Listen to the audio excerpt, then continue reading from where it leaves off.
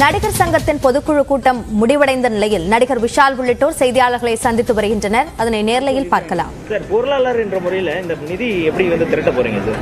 Bank தான். வங்கி கடன் தான். நட்சத்திர நட்சத்திர திருவிழா நடத்தணுங்க. அது நிச்சயமா நடத்துவோம். ஆனால் அதுக்கு முன்னாடி ஒரு குறிப்பிட்ட காலத்துக்குள்ள அந்த கட்டடத்தை கட்டி முடிக்கணும்னா தொகை ஃபுல்லாக கையில் இருக்க வேண்டியது. ஒரு தொழிலாளர்கள் ஒரு நூற்றம்பது பேர் இரநூறு பேர் ஒரு இடத்துல வேலை செய்யணும்னா நம்ம மாசம் மாசம் ரெண்டு கோடி மூணு கோடி செலவு பண்ணோம்னா அது கையில் காசு வச்சுட்டு பண்ண தான் சரியா வரும். கொஞ்சம் கொஞ்சமாக சம்பாரிச்சு நான் காசு கொடுக்குறேன் கட்டி கொடுக்குறேன் நம்ம வீடு கட்டல. பெரிய ஒரு ரொம்ப ரொம்ப பெரிய விஷால் சொன்ன மாதிரி ஒரு ஏசியாலே ஒரு மிக முக்கியமான கட்டடமாக அது வரக்கூடிய எல்லா சாத்தியங்களும் அதில் இருக்குது அவ்வளோ பெரிய கட்டிடங்கும் போது நிதி இருந்தால் மட்டுமே அதை நாங்கள் சொல்கிற காலகட்டத்துக்குள்ள கட்டி முடிக்க முடியும். அதுக்கான எல்லா வேலைகளும் செஞ்சுருக்கோம். கூடிய சீக்கிரம் அந்த வங்கி நிதி வந்த உடனே லோன் வேல்யூ வருது சார்? ஏன்னா முன்னாடி இருந்ததுக்கும் இப்போக்கும் எவ்வளவு மாறுபட்டிருக்கு கோவிடுக்கு அப்புறமாவே வந்து நீங்க வீடு கட்டுறவங்க எல்லாரும் கேட்டா தெரியும் முப்பது சதவீதம் ஜாஸ்தியா இருக்கு. எல்லா விலைவாசி எங்க பட்ஜெட்டும் ஜாஸ்தியா இருக்கு. முப்பது சதவீதத்துக்கு மேல ஜாஸ்தி. சார் அதை தாண்டி இந்த கூட்டம் வந்து இந்த புதிய கட்டத்தில் நடைபெறுமா? அதான் எங்க வாய்ப்பு ஆசை? அதான் எங்களோட அதை நோக்கி தான் நாங்க போயிட்டு எல்லா வேலையும் வாய்ப்பு இருக்குங்களா? இருக்கு. வாய்ப்பு இருக்கு. வாய்ப்பு இருக்குன்னா ஆசை ஆசை இருக்கும்போது தான் முயற்சி முயற்சி வந்து வெற்றி அடையிறதுக்கு அதுக்கான த- தன்னம்பிக்கை வேணும். தன்னம்பிக்கையோட உழைப்பும் வேணும். இதெல்லாம் சார்ந்து கண்டிப்பா வந்து நீண்ட காலமா இந்த ஆசை ஆசை இருக்கு மட்டும் தான் சொல்லிட்டு வரீங்க. அதுக்கு இல்ல அது சொல்லிட்டு வரோம். ஆனா அது தடைகளா வந்து எங்களுக்கு வந்து அடுத்த கட்ட விஷயம் நோக்கி போகும்போது வந்து ஒரு தடைகளா வருது. நீங்களே பார்த்திருக்கீங்க. இது ஒன்னும் ஒளிமறை ஒண்ணும் தான் பண்ணிட்டு இருக்கோம்? நடுவில் கொரோனா வருது உலகத்துக்கே வருது. So எல்லாமே டிலே இதுல நிதியை தவிர்த்து மற்ற தடைகள் ஏதாவது இல்ல இல்ல மற்ற எதுவும் இல்ல. சட்ட ரீதியா எல்லாமே கிளீனா இருக்கு. அதனால பொதுக்குழுல வந்து கட்டண முப்பது கோடி ரூபா வந்து ஒப்புதல் இப்ப நாற்பது கோடியா கிடைச்சு என்ன காரணம்? இல்லைங்க இது சரி. நாற்பது கோடிங்கிறது நாற்பது கோடி அளவுக்கு வாங்குறதுக்கான தகுதி எங்களுக்கு இருக்கு. தகுதி இருக்கு. நாங்க எவ்வளவு எவ்வளவு செலவு பண்றோமோ அவ்வளவுதான் பயன்படுத்த போறோம். இப்ப நம்ம முப்பது கோடி அளவிட்டு இருக்கோம் அது இருபத்தி எட்டு கோடியில கூட முடியலாம். எவ்வளவு தேவையோ அவ்வளவு ஒப்புதல் தான் வாங்கி வச்சுக்கிறோம். ஒப்புதல் வாங்கி வச்சுக்கிறோம் முப்பது கோடி ரூபா கேட்டீங்க இப்ப நாற்பது ஒரு- இல்ல இல்ல தகுதி இருக்குன்றது. தகுதி இருக்குங்கிறது தான். நாற்பது கோடி வரைக்கும் வாங்குறதுக்கு இந்த எங்களோட தகுதி இருக்கு. இப்போ நீங்க முப்பது கோடி ரூபா வாங்குறீங்க. இன்னும் ஒரு கோடி ரூபா எக்ஸ்ட்ரா ஆச்சுன்னா என்ன பண்ணுவீங்க? அப்போ அது வாங்கி வச்சுக்கிறோம். எல்லாத்தையும் பயன்படுத்துன்றது கட்டாயம். மேக்ஸிமம் கம்மியாக தான் நாங்கள் முடிப்போம்.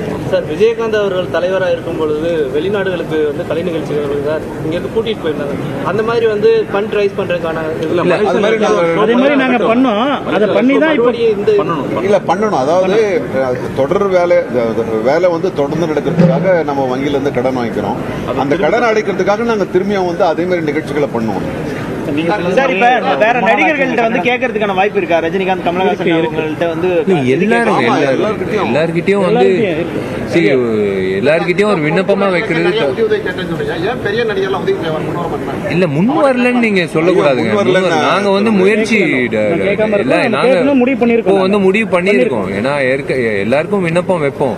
சரி டெஃபினட்டா வந்து இது அவங்களுக்கும் வந்து ஒரு சந்தோஷம் தான் இந்த மாதிரி ஒரு கட்டடம் வருதுன்னு அந்த அந்த வீடியோ பார்க்கும்போதோ நீங்க தான் அந்த அந்த வீடியோ வந்து யூடியூப்லயும் எல்லாம் எல்லாம் ப்ளே பண்ணியிருக்கீங்க. எல்லாருக்கும் தெரியும் எப்படி வரப்போகுது எப்படி அமைய போகுதுன்ட்டு கண்டிப்பா வந்து எல்லாருக்கும் வந்து விண்ணப்பமா வைப்போம் சார்பாக ஒரு பதினான்கு நடிகர்கள் சரியா ஒத்துழைக்கல அப்படின்னு கம்ப்ளைண்ட் பண்ணிருக்காங்க அது அதெல்லாம். மறுத்துட்டாங்க. அது பத்தி அந்த நடிகர்கள் பத்தி லிஸ்ட் கொடுக்குறோம். நீங்க அவர்களுக்கு வலியுறுத்தணும். இல்ல இல்ல இல்ல இல்ல இல்ல. ஒரே ஒரு விஷயங்க அது அது அது என்னன்னா ஒரு நடிகனுக்கு வந்து சரி ஓகே எல்லா துறைக்கும் ஒரு பிரச்சனைகள் இருக்கு. இப்ப நடிகர் சங்கம் பொறுத்த வரைக்கும் வந்து வியாழக்கிழமை வந்து தயவு செஞ்சு வந்து கம்ப்ளைண்ட் கொடுக்காதீங்கன்னு நாங்க சொ- சொல்லியிருக்கோம். வெள்ளிக்கிழமை ரிலீஸ் அன்னைக்கு. முன்கூட்டியே வந்து கம்ப்ளைண்ட் கொடுத்தீங்கன்னா பேச்சுவார்த்தைக்கு ஒரு விஷயம் இருக்கும். ஒன்னு ஜிஎஸ்டி கட்டாம இருக்கிறது இன்னொன்னு டிடிஎஸ் கட்டாம இருக்குது. இன்னொன்னு வந்து இந்த சம்பள தொகையை சொல்லி பா- சம்பளம் கொடுக்காம கடைசி நேரத்து வரைக்கும் டப்பிங்கும் முடிச்சுட்டு அவங்க கா- காத்துக்கிட்டு இருப்பாங்க. இந்த மாதிரி விஷயங்கள்லாம் தவிர்க்கிறதுக்கு ஒ- நாங்க வந்து மொ- எல்லா சங்கமும் ஒரே மனநிலையில செயல்படணுன்றதுக்காக நாங்க விண்ணப்பம் சார் ஓட்டு போடுறதுக்கு பல முன்னணி நடிகர்களும் வர்றாங்க. ஆனா இந்த மாதிரியான செயற்குழு பொதுக்குழுக்களுக்கு வந்து வருவதில்லை. இதற்கு எதுவும் ஒழுங்கு நடவடிக்கை இல்ல இல்லை. ஒழுங்கு ஏங்க? நடவடிக்கைலாம் அவர்களும் உறுப்பினர்கள் தானே. ஏன் அவங்க வந்து தவிர்க்கிறாங்க ஏன்னா நாடக நடிகர்கள் வர்றாங்க. முன்னணி நடிகர்கள் வந்து எலெக்ஷன் இருக்கிறப்ப கண்டிப்பா வந்துடுறாங்க. ஒருத்தர் வெளியூர்ல இருக்கும்போது வர முடியாம போகலாம். இல்ல பொதுக்குழுல அதிகமா வந்து நாடக நடிகர்கள் அவங்களுக்கு நம்பிக்கை தேர்ந்தெடுக்கணும், correct ஆ தேர்ந்தெடுத்து வேலை வந்து முடிஞ்சிரும்னு அவங்களுக்கு நம்பிக்கை. யாருமே இதை வந்து அதை ஒதுக்குறாங்களா இல்ல வர்றதுக்கு இல்ல இல்ல ஒதுக்குறாங்க. நாங்க எல்லாரும் நான் அதான் சொல்றேனே நீங்க அடுத்த வருட- வருடம் வந்து அதான் நீங்க திரும்ப அதுக்கு தான் வரும். அடுத்த வருடம் வருடம் வந்து இடமே இருக்காது. அந்த அளவுக்கு இருக்கும் கூட்டம் அந்த திறப்பு விழாக்கு. அந்த நேரத்தில் பொதுக்குழு நடக்கும்போது நீங்க உங்களோட கேள்விக்கு அந்த பதில். செயற்குழு மீட்டிங்க்கு துணைத் தலைவர் அவர் கருணா சாரே வந்து கலந்துக்கல.